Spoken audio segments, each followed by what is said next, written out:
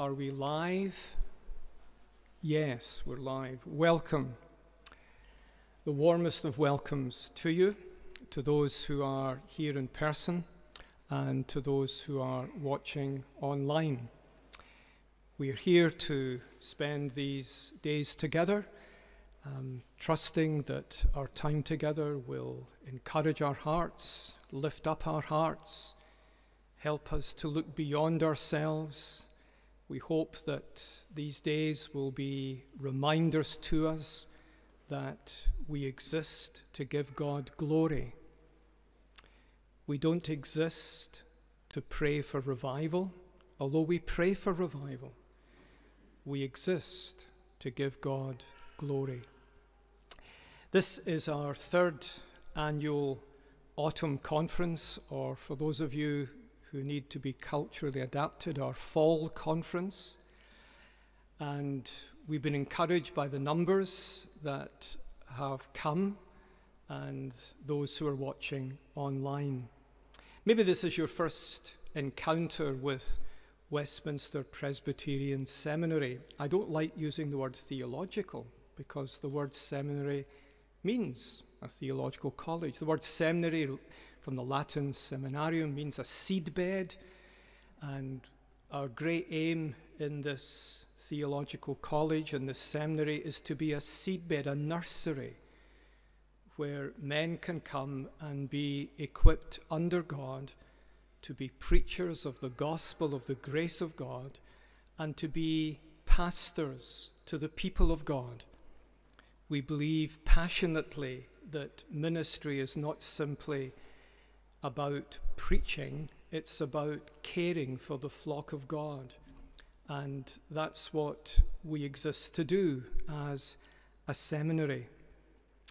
Well, of course, the aim of the conference, from one minor perspective, is to introduce you to what Westminster Presbyterian Seminary is. And I hope you'll take the opportunity in the next couple of days to find out more of what we're about and what our vision is here in Newcastle. But more importantly, we want to serve the wider church. We want to remind the church as best as we are able of those great truths that the church of God needs in every generation to be reminded of and to be recalibrated by. It's so easy, isn't it? In the midst of the struggles, the battles of the Christian life to lose our focus. Sometimes just getting through a day can be a great triumph. I think we underplay that. You know, at the end of the day, if we are still found in Christ, trusting in the finished work of Christ, resting alone in the blood and righteousness of Christ, that's a great triumph. But we do want in this conference to remind ourselves and the church of God beyond ourselves of those great truths that God has been pleased to bless throughout the ages. And to remind ourselves that the Church of Jesus Christ is a supernatural body. My students have heard me say this perhaps too often, but I love Benjamin Warfield's one of his definitions of a Christian. A Christian is an unembarrassed supernaturalist. We believe in a God who invades history and power and manifests his grace, his mercy, his love to the whole world. And we hope in these days of conference, as we think about revival, what it is and perhaps what it isn't, that we will go away with this resounding conviction by the grace of God, we are unembarrassed supernaturalists. So we are here to worship God, and we will do so as we sing the words of the 100th Psalm. In the Scottish Psalter, it's towards the end of your blue books, page 362. It's the first version of the psalm. I'm sure it's a psalm that most of us know well. After we sing, I'll pray and introduce our first speaker. So please stand with me as we sing to God's praise. All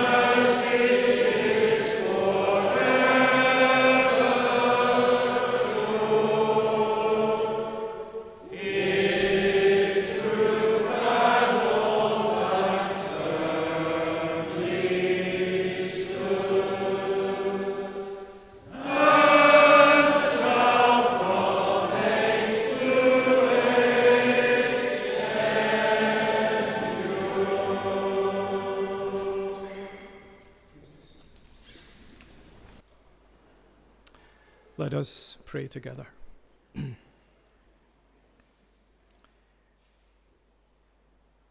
our great and our gracious God, our Father in heaven,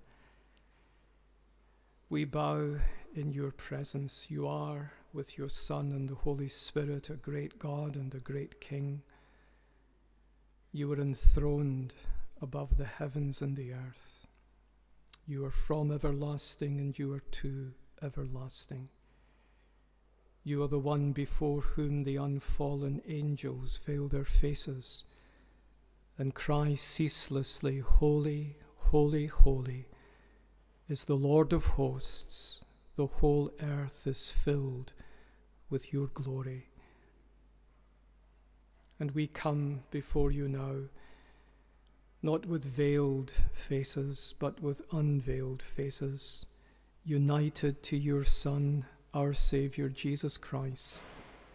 In Him, Lord, you have given us not only access to you, but acceptance with you. And not only acceptance with you, you have adopted us as your sons and daughters into your family and made us heirs together with Christ of your glory. We are, Lord, by your grace, the most blessed, the most privileged of people. And we come at the beginning of this conference to seek your blessing. Without your blessing, Lord, we have nothing. It is the blessing of the Lord that makes rich. We pray that you would warm cold hearts, that you would calm distempered minds that you would lift the fallen, that you would humble the proud, and that you would lift up the humble. Draw near, Lord, to those whose lives have been bruised and broken these past weeks and days, who have come to the conference seeking your face, longing that you would meet with them in their need. And beyond ourselves, Lord, we pray that this land in all its darkness and misery and vileness might know times of refreshing from heaven. We pray, Lord, that you would remember in mercy the cause of your kingdom throughout our land. That in wrath you would remember mercy, that you would come, Lord, and cause your church in a new way to so live and declare the unsearchable riches of Christ, that this land might be shaken and many ushered into your kingdom. Lord, remember us, we pray. We especially remember before you Sue and Alan McCabe from the Ely Church in Cardiff. We pray for Sue, who had this stroke en route to the conference yesterday. We ask, Lord, that you would be with her in hospital, be with Alan, their son John. We ask, Lord, that you would draw near to her and that they would all be conscious that underneath them are the everlasting arms. Lord, how thankful we are that our times are in your hands. So we look to you today. We thank you that we have in your Son a great and an ever gracious Saviour, one to whom we can run in all our times of need. So be with us, Lord, we pray. May your face shine upon us and be gracious unto us. And we ask it all through Jesus Christ our Lord. Amen. well, it's a great pleasure for me to introduce to you Warren Peel. Warren and I have been friends for many years now. He's the minister of Trinity Reformed Presbyterian Church in Newtownabbey in Northern Ireland. Uh, he is a dear, dear brother. We, we serve together on the board of the Banner of Truth Trust, and he's been a great addition uh, to the board these past years. And we're delighted he's here today to open the conference for us. Welcome, Warren.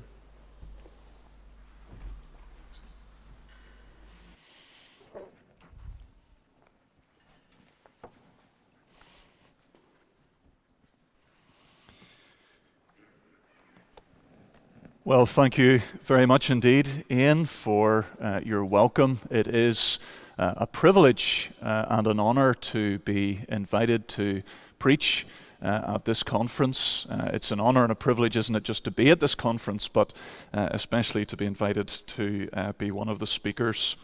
Um, is it all right if I move this microphone out of the way? Oh, right, okay. Is it okay if I move it that way a little bit? Uh, that's, that's better. Uh, I ask you please to turn with me in God's Word to Zechariah chapter 4.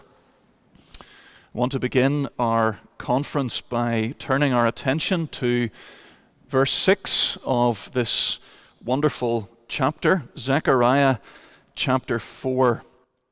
As I was thinking and praying about which text to preach, for the opening sermon of a conference on revival, uh, my mind kept coming back again and again to this verse. It seems to me to be really the ideal verse uh, to speak about revival from. And perhaps every single one of the speakers at the conference will have a different text and they will say exactly the same thing about that text that it is the ideal text and no doubt uh, will all be right.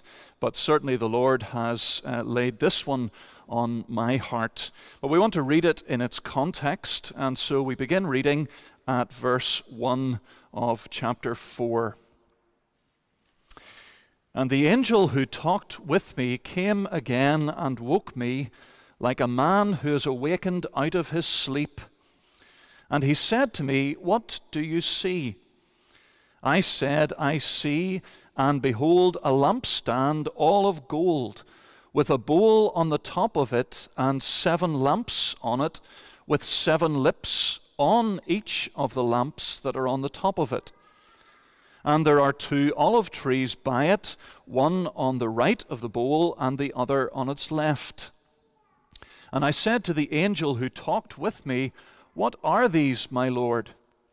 Then the angel who talked with me answered and said to me, Do you not know what these are? I said, No, my Lord.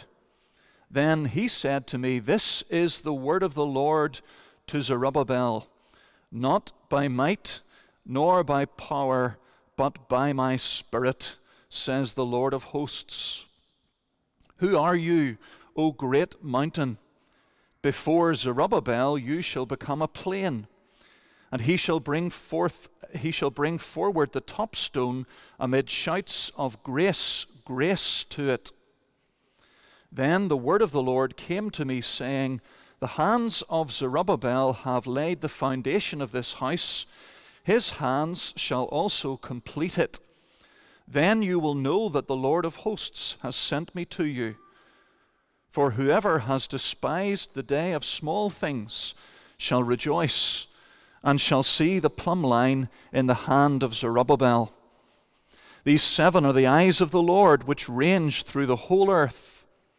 Then I said to him, What are these two olive trees on the right and the left of the lampstand?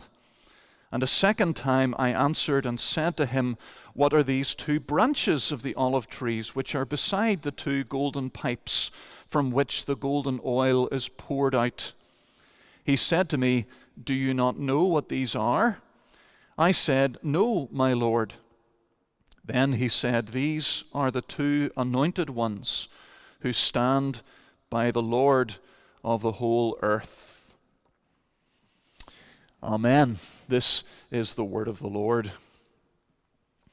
Well, Zechariah 4, verse 6 is a very well known verse, isn't it?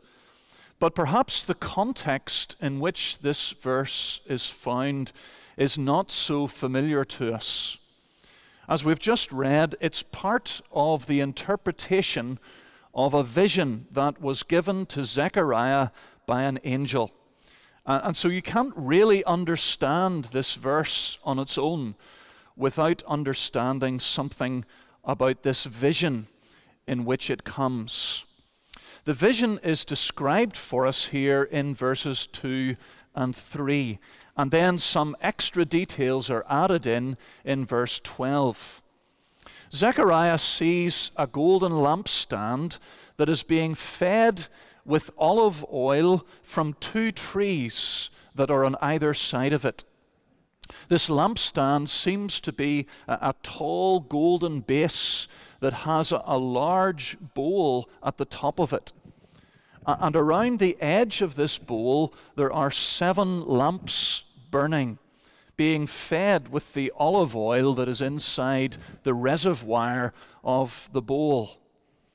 On either side of the lampstands, there are these two olive trees with golden pipes running down from the overhanging branch, each supplying copious amounts of oil into the bowl. The oil is gushing down, it's pouring down from the trees to keep the bowl filled.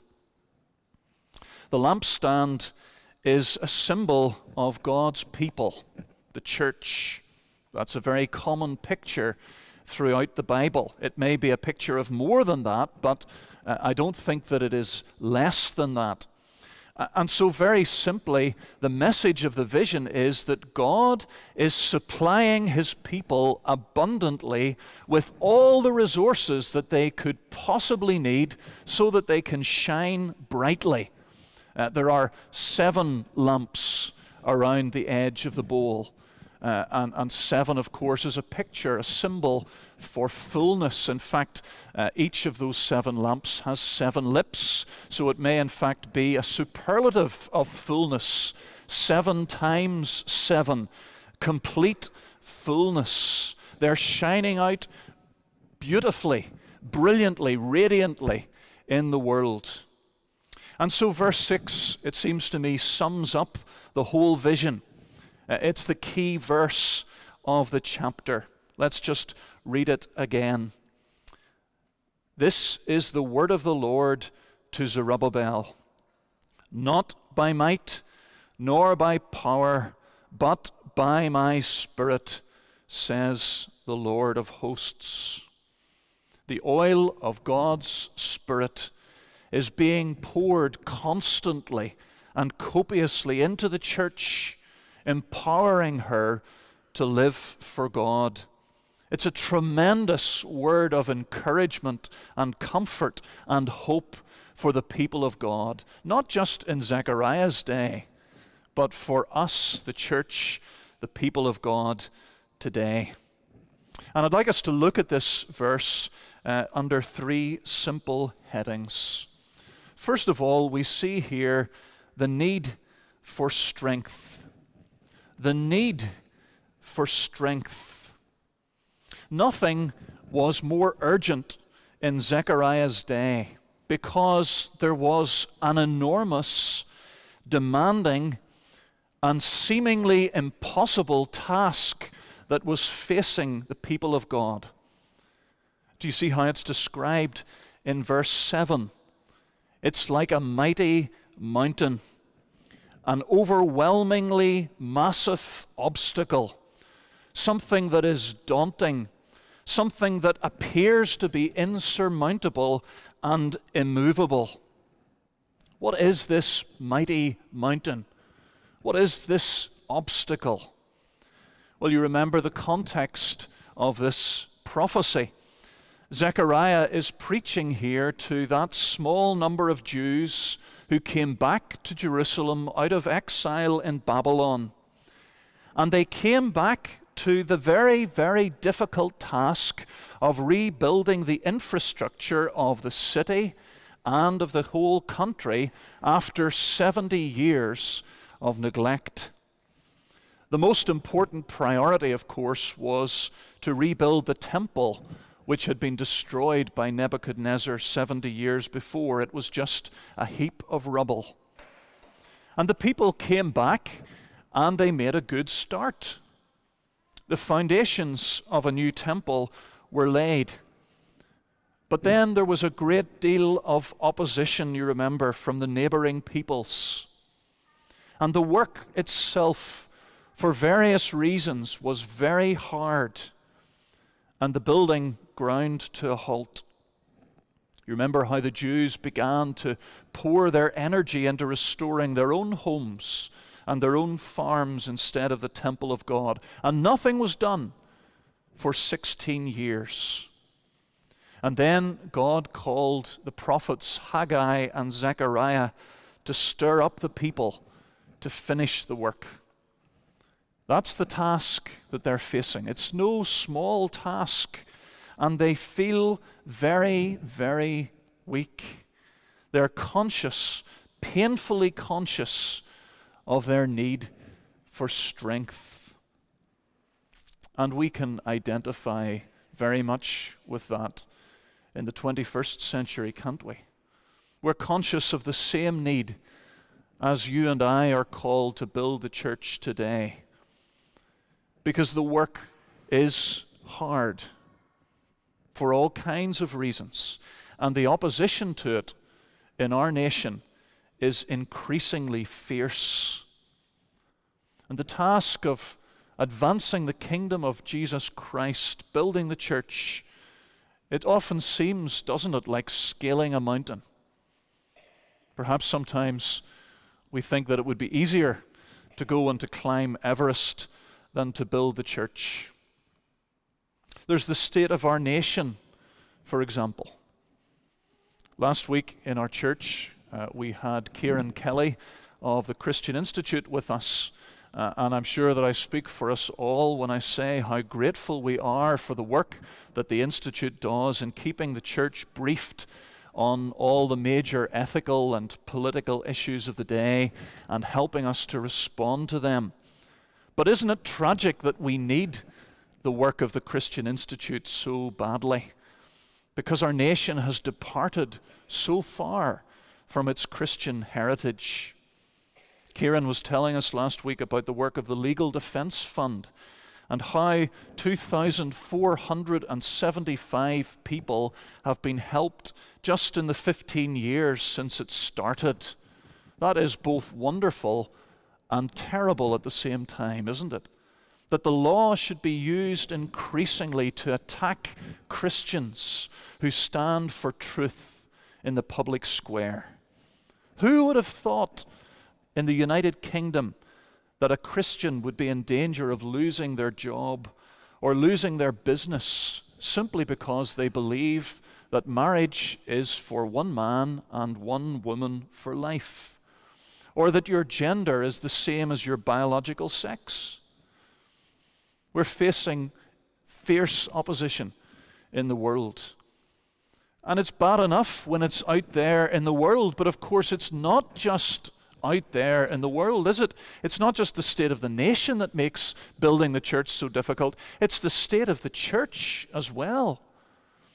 When churches are not only condoning, but positively celebrating and endorsing and promoting gay marriage and homosexuality, when they're surrendering wholesale the Lord's Day, when we're seeing in church after church, a massive loss of confidence in the Bible as God's Word, where, where pews and chairs are being uh, taken out and replaced with cafe style tables and chairs. When, uh, as one church that I heard of uh, has removed its pulpit and replaced it with a sofa, so that instead of the authoritative proclamation of the Word of God, we have a man or a woman at the front having a little chat with the congregation. How many churches in recent days have found that large numbers of their congregations simply haven't returned, even though COVID restrictions have long since been lifted? How many professing Christians are there today who have absolutely no problem with drunkenness, with sexual immorality, with divorce, with abortion, with transgenderism and homosexuality. There's no doubt at all, is there, about the need for strength, either in Zechariah's day or in our own day. We need strength because our circumstances are extremely demanding and we are very, very weak. Or to put it another way, given the topic of our conference, we long for the revival, don't we, of spiritual strength. We long for God and His Word to be honored and obeyed in the church and throughout the whole nation. I've been rereading uh, in recent weeks uh, Arnold Dallimore's wonderful two volume biography of George, Whitefield. George Whitefield. And uh, at the beginning of that work, he talks about the state of England before the revival of the 18th century. And he talks about many of the same kinds of problems that we're seeing today. He talks about how biblical truth was being attacked by deists who reduced God to a clockmaker, who simply wound up the universe, started on its way, and then left it to go off and to do other things. He talks about how that false teaching gradually infected the church so that it was accepted by the vast majority of the clergy. He talks about a nation that was in the grip of alcoholism because of the gin craze, making people, he says, cruel and inhuman and indifferent to the suffering of the poor. He talks about how crime and violence was spiraling out of control. You've heard it said, perhaps, that uh, the nation was heading for a crisis akin to the French Revolution. until revival came. Dallimore quotes from the historian J.R. Green and says this A religious revival burst forth, which changed in a few years the whole temper of English society. The church was restored to life and activity. Religion was carried to the hearts of people with the fresh spirit of moral zeal, while it purified our literature and our manners. A new philanthropy reformed our prisons, infused clemency and wisdom into our penal laws, abolished the slave trade, and gave the first impulse to popular education. And that's a pattern that we have seen repeated many times over and over, isn't it, throughout history? During the 1859 revival of Ulster uh, in Coleraine, the town where I was uh, pastor for 11 years, uh, there were open air meetings that took place for weeks and weeks every night that were attended by thousands. The town hall was kept open all through the night until 5 a.m so that people could talk with ministers about spiritual things. And even then, the people were reluctant to leave. Maybe we'll have that same problem here uh, in these days together. A daily prayer meeting met every morning at half past nine during the workers' breakfast hour. And normally it was attended by a thousand people. That's a fifth of the population of the whole town. Drunkenness which had been a serious problem in the town, disappeared overnight. Crime in the area almost vanished. One eyewitness says that the superior officer of police, who had work experience in most of the counties of Ireland, claimed that he had never seen such a quiet town. There had been, in his view, a complete reformation in the habits of many people. The head constable, with 18 years' experience in Coleraine, said that the petty sessions on the 17th of June 1859 were the first he had ever attended where nobody was prosecuted for riot and drunkenness. Marvelous. And that's the kind of strength that we desperately need, isn't it? And desperately long for as Christians and as churches. But how does it happen? Where can we get this strength that we need so desperately? Well, first of all, Zechariah is told where this strength does not come from. And that brings us from the need for strength to think about the inadequacy of human strength. The inadequacy of human strength. What does our text say? It says, Not by might, nor by power. Not by might, nor by power. These two words together describe human resources, everything that human power can do, human resources of all kinds. It includes military might, for example. So think in your mind's eye of legions and legions of highly trained crack troops, cutting edge military hardware, jets and tanks or chariots and horses, depending on the period of history. It, it refers to political savvy. That's might and power. Political savvy, uh, having the wisdom the intelligence, the, the nous, uh, the far sighted tactical and strategic planning uh, to, to see your plans through, the ability to get what you want through diplomacy. It, involves things like eloquence, the ability to move people by oratory, to persuade them, to change their minds, to win their hearts, to carry the opinion of the people, the charisma to gather a following uh, and to create uh, uh, support.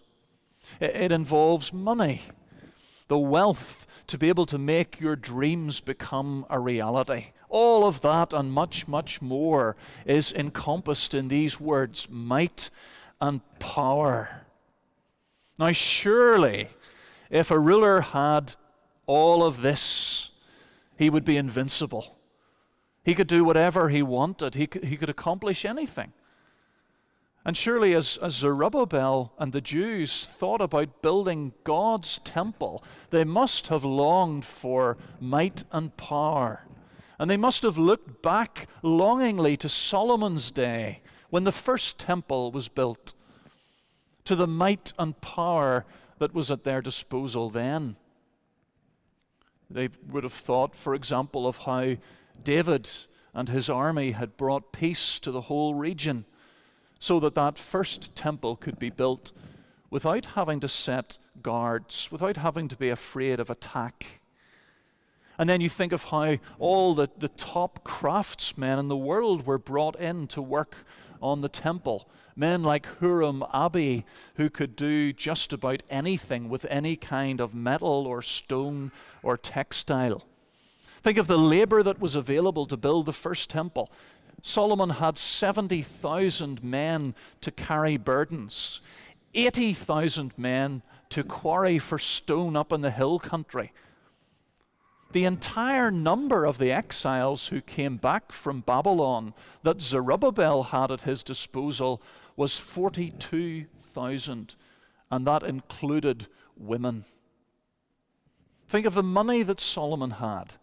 David left his son vast financial resources with which to buy the best material possible 4,000 tons of gold, 34,000 tons of silver. Remember how silver, we're told, was so common in Solomon's day that it was like stones on the ground. We're told that Solomon excelled all the kings of the earth in riches and wisdom. And of course, at the top at the head of it all, directing operations. You've got Solomon, the wisest man in the world. Talk about might and power. And surely Zerubbabel was tempted to think, if only I had that. If only I had even just a little bit of that, I could build God a wonderful temple in no time at all. If only I had Solomon's abilities and Solomon's gifts and Solomon's resources, I could do a great job here as leader. And maybe you're tempted to think along those lines as well. If only we had the resources that other churches have, those big mega churches, then, then we could do something great for the Lord. If only we had more might and power. That's what we need. If only our minister could preach like Martyn Lloyd-Jones. If only he had that kind of learning and wisdom and experience. How could you build the church without someone powerful and mighty in control? And it's tempting for us to say the same kinds of things about ourselves personally, isn't it? If only I had greater gifts. If only I was a better speaker. If only I had read more books. If only I was more intelligent. If only I had a more dynamic, outgoing personality. Then I could do something great for God. If only I had a wife if only I had a wife who excelled at hospitality and personal evangelism. If only I had a husband. If only I had a husband who was more of a leader, more of a speaker, more of an influencer of others. If only I was single and I didn't have to divide my time and my energy with family responsibilities. If only I had a better job.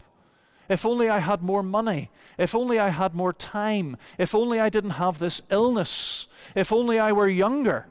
If only I were older. Then, then I could do something for God. Then I could make a difference. If only I had might and power, or even just a little bit more might and power. And what is God's word to Zerubbabel? And to the church then and today. It's very clear, isn't it? not by might, nor by power. Because building God's kingdom doesn't depend on human strength. All the might and power in the world put together in one great lump cannot advance the kingdom of God one single millimeter. That was the great mistake, wasn't it, of the revivalists of the 19th and 20th centuries.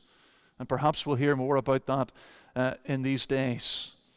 They thought that they could work up revival by human might and power. All they had to do was get the method right, and the results were assured.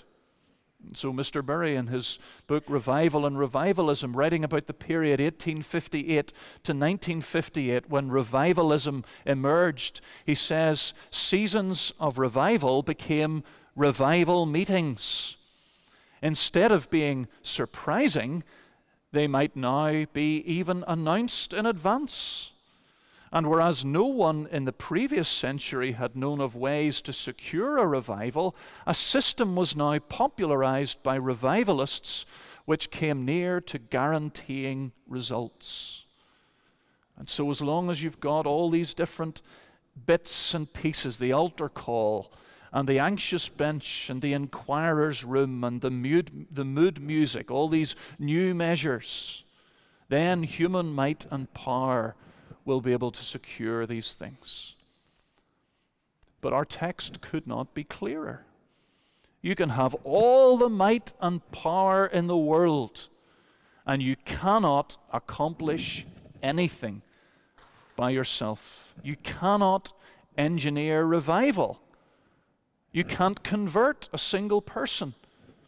You can't bring comfort or encouragement to a single saint.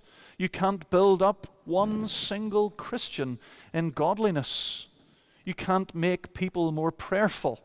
You can't make people hate their sin more and love Christ more. You can't do anything of spiritual benefit by yourself, by might and power. And surely we say, we want to object and say, well, now surely might and power could do something.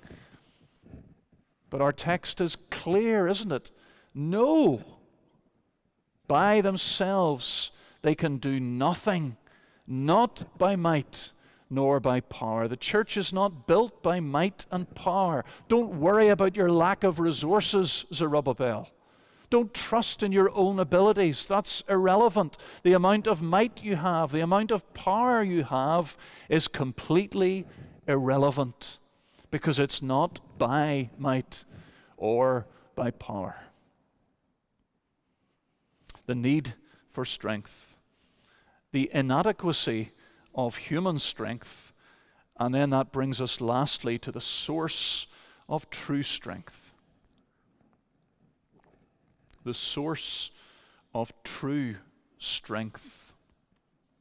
Not by human might or power, but by my Spirit, says the Lord of hosts the Lord of hosts. That title means the one to whom all the power in the universe belongs, the one who commands all the hosts, the hosts of heaven and the hosts of earth. Here is where power for building the, the kingdom of God comes from.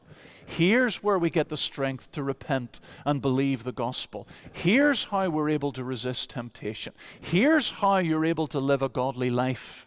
It's by the oil of the Spirit flowing from the trees into the bowl. It fuels the lamps so that they can shine out in the darkness and give light all around. Zerubbabel and the people need to realize that if the temple is going to be rebuilt, what they need above all is not money, it's not worldly power or influence or large numbers. All they need is people who are humbly depending on God's Spirit for all things. And that is such an encouragement, isn't it, for people like you and me who, like Zerubbabel, don't have much might or power. with the exception of a very small number here, we're not very influential or clever or outstanding in any way. We are very, very ordinary. And the good news is that that doesn't matter. Doesn't matter in the least. Couldn't matter less because it's by God's Spirit and not by might and power. By my Spirit, says the Lord of hosts. It was this Almighty Spirit who was involved in the work of creating the whole universe out of nothing. It was this Almighty Spirit whom God sent to open that path through the Red Sea so that several million people could pass through on dry land. It was this Almighty Spirit who swept through that valley of dry bones before Ezekiel, bringing them to life again. It's this Almighty Spirit who acts in human beings who are dead in their sin and gives them new life and enables them to repent and to trust Jesus Christ as their Savior. It's this Almighty Spirit who is the author of every true revival in the history of the church, from the day of Pentecost to the Reformation to the Great Awakenings to our present day. It is His work, and He sovereignly blows where He pleases and accomplishes His purposes. The source of true strength, not by might or by power, but by my Spirit, says the Lord of hosts. Brothers and sisters, surely this truth ought to drive us to pray. If the kingdom advances through our might and our power, then we really shouldn't waste too much time, if any time, praying. If it's about our might and power, then let's get out there and let's do everything that might and power can do. But if it depends on God's Spirit, then surely prayer ought to feature much, much more largely, if it doesn't already, in our personal lives, in our families' lives, and in the lives of our churches. I can't help wondering how many of us who would say with hand on heart that we believe this verse, that we would die for the truth of this verse, and yet we live as though it said the opposite. Not by my Spirit, but by might and power. How many of our churches would have to admit that the prayer meeting is the least well attended meeting in the whole week. How many Reformed ministers among us can say that we give significant time each day to prayer? We're quick to condemn the revivalists and their dependence on gimmicks and techniques. But we have our own reformed gimmicks and techniques that we depend on, our own might and power in preaching, perhaps. Perhaps we're depending on the might and power of the coherence and the logic and the profundity of Reformed theology. Our prayer lives, individually and as families and as congregations, are a good index, aren't they, by which we can gauge how much we're depending on the Spirit and how much we're depending on human might and power. And I say to you, as I say to myself, that if you are not a man or a woman of prayer, then you are not depending on the Spirit. Whatever you might profess with your lips, you are depending on your own might and power, or the might and power of someone else. And maybe your might and power is quite considerable as far as the world is concerned, but this text challenges us, doesn't it, that our might and power is utterly useless as far as the kingdom of God is concerned. We must pray if we believe this verse. And we must work as well. And perhaps that sounds contradictory. But just because the kingdom is not built by human might and power doesn't mean, of course, that we should just sit around all day and do nothing but pray. That would be a mistake as well. And of course, like everything, it's a mistake that some Christians have fallen into in the past. God uses our work, He uses our might and our power. He calls us to work. But it's only the power of His Spirit that makes that work effective, isn't it?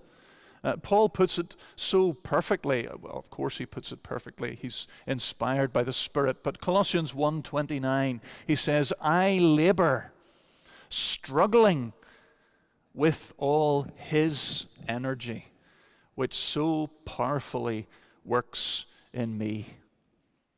And that means that we will strive to do the work that God has given us to do in the way that He wants us to do, because it's not by might or power. This, this, this destroys all pragmatism, doesn't it? Uh, it, it, it keeps us from being lured into compromising in order to get results. If we're going to work, if it's by God's Spirit, then we'll use His prescribed methodology. Pray and work because it's not by might or by power, but by my Spirit, says the Lord of hosts. And what will happen then if people take verse 6 seriously? Well, look at verse 7 for the answer. Who are you, O great mountain? Before Zerubbabel you shall become a plain, and he shall bring forward the top stone amid shouts of grace, grace to it. The people in Zechariah's day can't see anything except this great, forbidding, daunting, intimidating mountain that they have to scale. It's very demoralizing. But what does God say? He says, What are you, O mighty mountain? If God's Spirit is able to create a whole universe out of nothing, He can certainly deal with this little mountain, however mighty it seems to the Jews. It may seem, our mountains may seem impossibly big to us, but we've got to remember that they're not big to God. Verse 9 The hands of Zerubbabel have laid the foundation of this house, his hands shall also complete it. Then you will know that the Lord of hosts has sent me to you. When we depend on God's Spirit and not on our own might and power, the mountains become level. And the problems that appear, appeared to be impossible to surmount can be overcome. The Spirit of the Lord God Almighty is available to each one of us who is a Christian today to empower us to live for Him, to shine for Him, to glorify Him in everything. And how does it come? This Spirit of God, this oil? Well, verses 12 to 14 give us this picture of two Messiahs on either side of the lampstand, two anointed ones. There's Joshua, the high priest, and there is Zerubbabel, the ruler, the king. And they are like the channels through which the oil of the Spirit flows to God's people, and through Zechariah the prophet who brings this word. And all three together are a picture, aren't they, of the Lord Jesus, our prophet, our priest, and our king.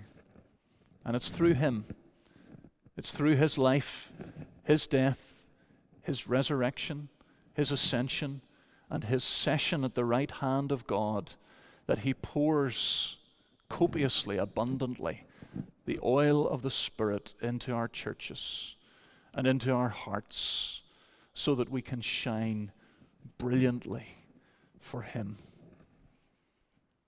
This is the word of the Lord to Zerubbabel and to you and to me today. not by might, nor by power, but by my Spirit, says the Lord of hosts. Amen. Well, let's bow our heads for prayer. Let us pray. O Lord our God, we come before you and we confess to you our preoccupation, if not even at times our obsession with might and power. We confess, O God, that we are attracted to it, we are seduced by it, we long for it, we long to possess it and to wield it. And so we worship you, O God, because you're the one to whom all might and power belongs. You are the Lord of hosts, the creator of the ends of the earth. And we rejoice, O God, that you give your might and power, the power of your Spirit, to fill your people, to fill your church, so that we might shine for you in the darkness. Lord, we pray that you will make us deeply conscious of our need for the strength that you alone can provide. We pray that you will forgive us for seeking it in other places. And we pray that you will so fill us with your Spirit that we would do great things for you, not because we are great, but because you are great and you give us strength. We ask this in Jesus' name. Amen.